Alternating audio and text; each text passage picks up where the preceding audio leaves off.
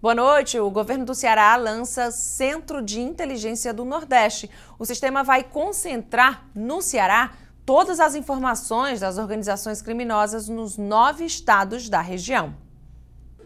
O Centro de Inteligência do Nordeste vai reunir todas as informações em Fortaleza.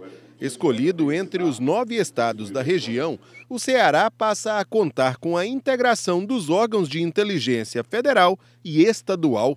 Todos os governadores abriram mão dos seus estados para que esse centro pudesse, em nome do Nordeste, por compreender que esse equipamento não vai servir só ao Ceará, mas vai servir ao Nordeste brasileiro e servir ao país e mais do que isso, se vê a população que hoje clama por, por segurança e por, por paz.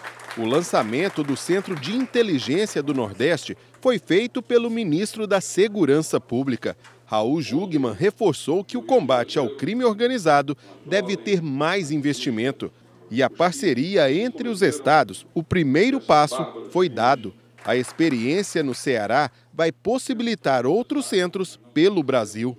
O Centro de Inteligência do Nordeste vai reunir representantes de todas as polícias do Nordeste, juntamente com a Polícia Federal, a Polícia Rodoviária Federal, a ABIN e a Senasp. Estarão aqui integrados, reunidos, dentro de um centro integrado de comando e controle, voltado para a inteligência, voltado para chegar ao comando do crime organizado, aos seus arsenais e os seus recursos. Para esse Centro de Inteligência do Nordeste, vão ser investidos 2 milhões de reais. O funcionamento desse centro deve ter início no segundo semestre de 2018.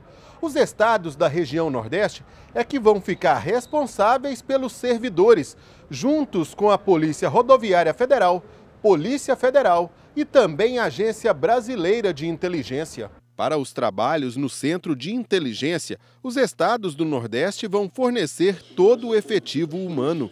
Vai ficar a cargo dos governos estaduais a manutenção dos servidores e gerenciamento. O recurso para contratação ou para manutenção de pessoal será arcado pelos estados, inclusive do Ceará, e o governador já disponibilizou um prédio para que nós possamos lá nos sediar.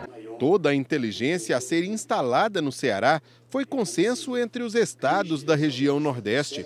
As condições estruturais e operacionais foram decisivas.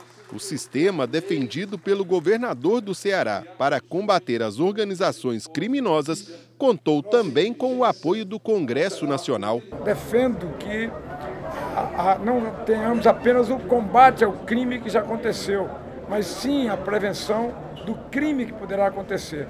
O que nós estamos fazendo aqui hoje é dando ao Ceará, dando ao Nordeste brasileiro a oportunidade de integrar as suas inteligências que todos nós estamos clamando no Brasil.